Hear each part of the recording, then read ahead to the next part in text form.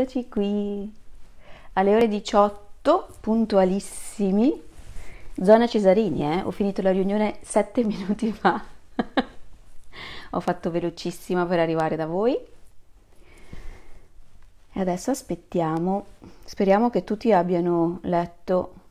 Margot, buongiorno. Ma quindi tu sei la mamma di Giorgia?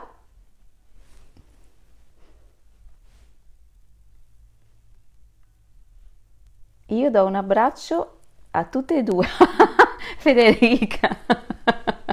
Buongiorno. C'è la, c'è la, mia amica del cuore con la Q di quadro che patisce quando mi vede perché dice che non mi riconosce. Perché parlo in dizione e lei non è abituata. Claudia, ciao! Caspita, che meraviglia, quante siete! Ciao! Allora, ciao Margot, ciao Giorgia, ciao amica mia, Claudia, Molto bene, aspettiamo l'autrice che si collegherà sicuramente, Katia. Fa... Eccola Fiorenza, buongiorno. Mi fa piacerissimo che siate riusciti a leggere il mio messaggio e, e che siate qui. Molto bene. Allora, io direi che possiamo cominciare, visto che, già, visto che è già un po' tardi. E, mm, intanto vi ricordo che domani, scusatemi, ma il mio primo lavoro mi chiama e quindi alle, domani alle 16 noi ci incontriamo. Ci vediamo alle 16. Emanuela, buongiorno per un'altra avventura, direi forse l'ultima, l'ultima pagina nostra, dei nostri grilli di Linate. Allora, io direi di procedere. Dove eravamo arrivate? Eravamo arrivati ieri a Isabella che atterra a Roma o quantomeno sta per atterrare, hm? più che altro, più che atterrare, che secondo me atterrerà ora. Esatto, e invece no, ha conosciuto il grillo che è il grillo parlante, ma non è il grillo parlante che conosciamo noi, eh? è un grillo di linate che non può volare, la sua popolazione di grilli non è in grado di volare e allora cosa fa? Chiede un passaggio a Isabella per poter vedere il mondo. Allora andiamo a scoprire il terzo episodio. Isabella ha un segreto. Zampa è ben nascosto nel mio zainetto e l'aereo sta cominciando la lenta discesa per arrivare a Roma. Aurora si è svegliata e abbiamo chiacchierato di me, di come vado a scuola. Mi ha chiesto quale materia mi piace di più e io le ho risposto che sono brava in matematica e in scienze. Le ho detto che mi piacciono gli animali, che a casa di mamma ho un pappagallino e a casa di papà un pesciolino rosso. Lei mi ha raccontato dei suoi viaggi. Mi ha detto che è andata tante volte a New York, a Londra e a Parigi. Da un po' di tempo è in servizio da Milano a Roma e da Roma a Milano. Che bello fare la hostess. Da grande vorrei fare la scienziata, ma se non ci riesco potrei sempre fare la hostess. Stiamo per atterrare. Ho riallacciato la cintura di sicurezza e mi tengo stretta, stretta ai braccioli della poltrona. Mi ha sempre fatto un po' paura lo scossone che si sente quando l'aereo tocca a terra con le ruote. Ecco, siamo a terra. Bravo il pilota che ha fatto un atterraggio dolce. Ora l'aereo è sulla pista e sta rallentando. Siamo fermi. Aurora mi slaccia la cintura e mi prende per mano. Vuole portarmi lo zainetto, ma io insisto per metterlo sulle spalle. Devo stare attenta a non schiacciare la tasca esterna dove ho nascosto Zampa. Chissà come se la passa lì dentro. È stato bello viaggiare con te, Isabella. Scusa se ho dormito un po', ero tanto stanca. Dopodomani, quando torni a casa, mi troverai qui per accompagnarti a Milano, dice Aurora con un bel sorriso poco prima di lasciarmi al terminal dove ho già visto che papà mi sta aspettando. Le sorrido anch'io e l'abbraccio. Ciao Aurora, a dopodomani. Corro a salutare papà, che mi stringe forte. Aiuto, povero Zampa! Ciao Isabella, tesoro, come stai? Sono così felice che tu sia qui. Domani ti porto in gita al mare. Vieni adesso, andiamo a casa. Mi toglie lo zainetto e lo mette nel bagagliaio della macchina prima che io possa protestare. Sono preoccupata per Zampa, ma non posso fare niente, altrimenti svelo il nostro segreto. Zampa è a casa di Isabella. Non sono mai stato in una casa di umani. Isabella ha detto che questo è l'appartamento dove vive il suo papà. Mi sembra un insieme di grandi scatole comunicanti. In ognuno c'è un colore diverso alle pareti. Isabella mi porta a fare un giro, poi entriamo nella sua cameretta. Mi ha sistemato sulla testa, sopra una molletta che le tiene i capelli. Ha detto che devo rimanere immobile e io obbedisco. Il suo papà mi ha scambiato per un animale di plastica. Carina la tua molletta a forma di grillo, ha detto. Isabella ha cambiato subito discorso. Come stai, papà? Hai sempre tanto lavoro? Perché non vieni un po' a casa? Sono stanca di vederti solo ogni 15 giorni. Tesoro mio, non ti ha detto niente la mamma? Che cosa mi doveva dire? Lo sai che è sempre distratta, si sarà dimenticata. Posso capirla, però dobbiamo dirti una cosa importante che non ti piacerà. Per questo la mamma non ti ha detto niente, ma io non posso aspettare ancora. Sei grande, dobbiamo essere sinceri con te.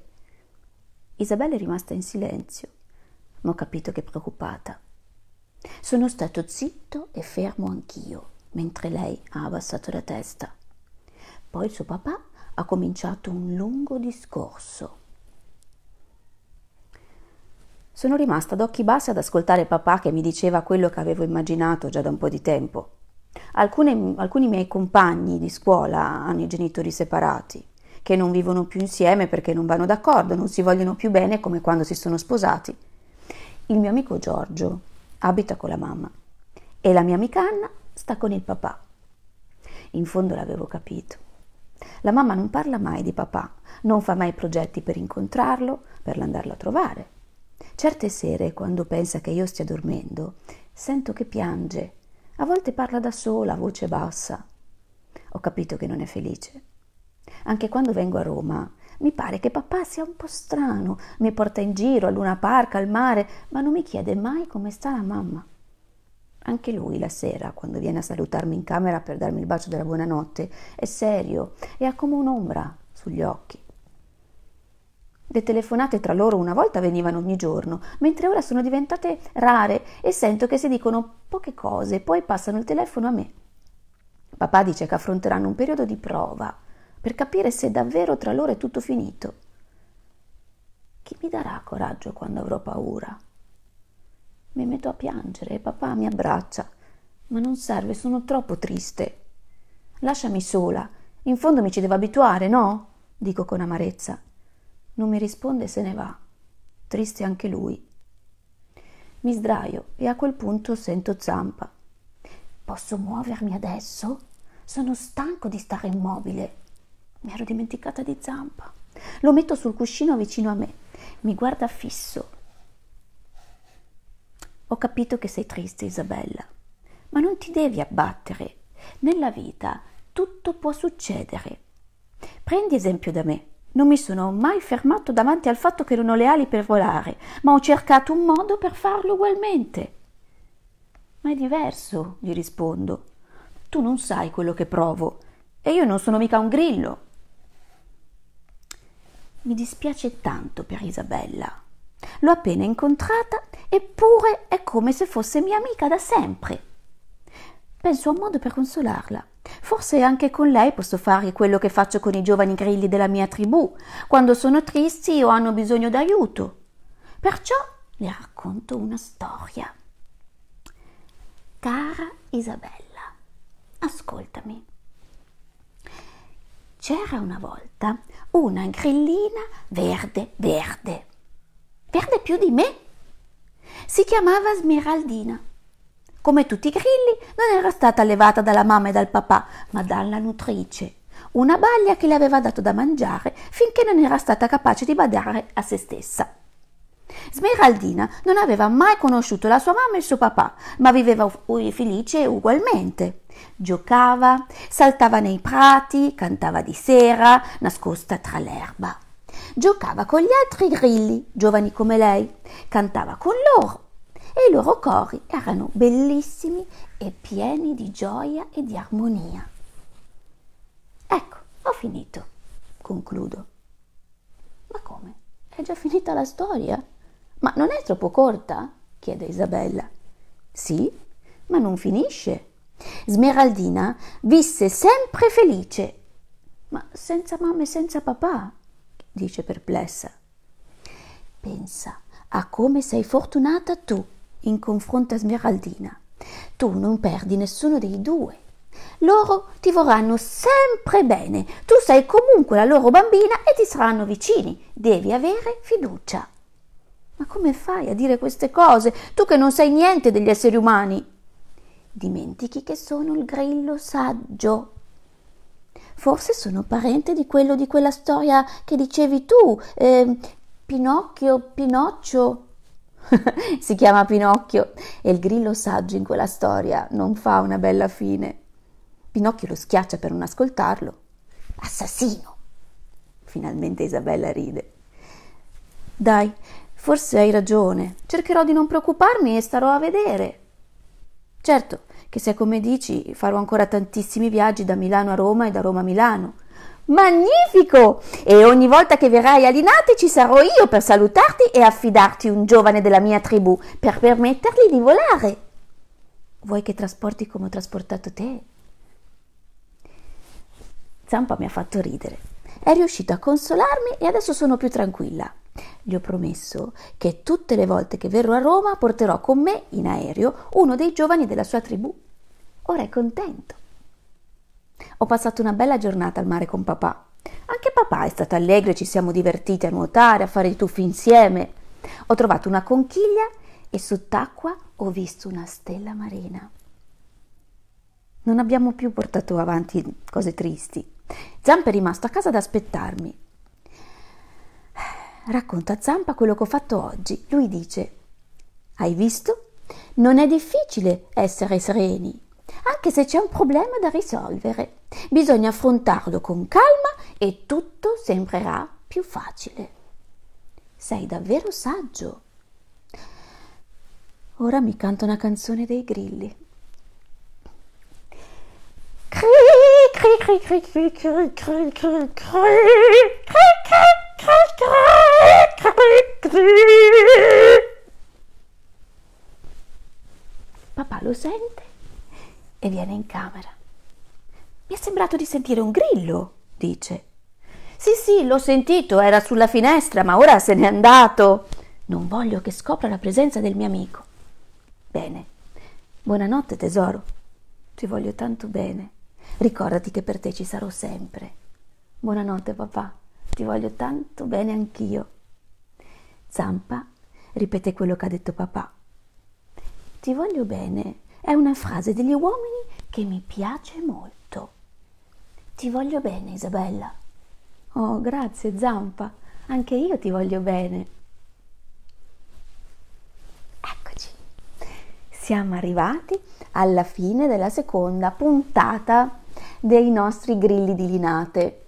Domani la concludiamo e poi avrò un'altra sorpresa per voi, ma ora non vi dico nulla.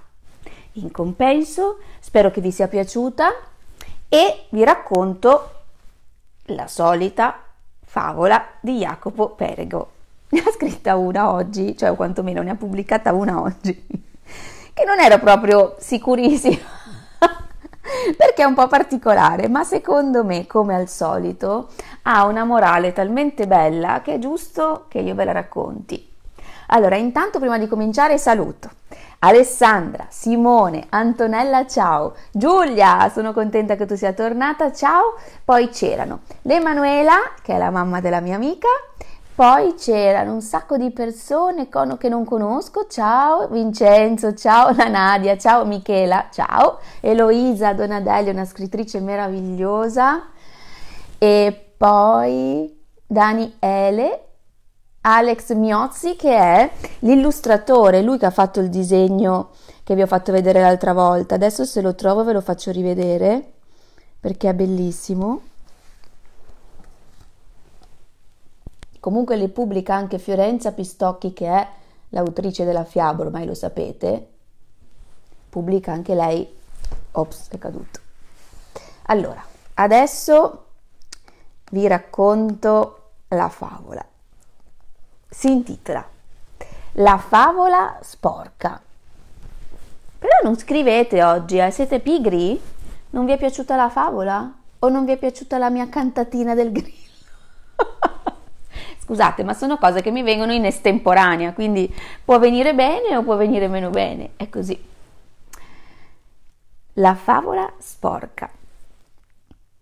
Una rondine stava volando verso sud per svernare, ma il tempo era talmente rigido che finì per congelare. Mentre era a terra alla ricerca di qualcosa che la potesse salvare dal freddo, sopraggiunse una mucca che gli scaricò addosso mezzo chilo di sterco. Ricoperta da una badilata di letame di vacca, la rondine non realizzò quanto questa fosse calda, poiché essa era troppo presa a considerare l'accaduto come un dispetto che non le era per nulla piaciuto. Quando una volpe che per caso passava di lì, delicatamente la rondine pulì. Quest'ultima esclamò Ecco, finalmente una creatura che mi vuole bene e che senza alcun dubbio un grande cuore tiene. Purtroppo, come molti avranno già intuito, di grande la volpe teneva soltanto l'appetito.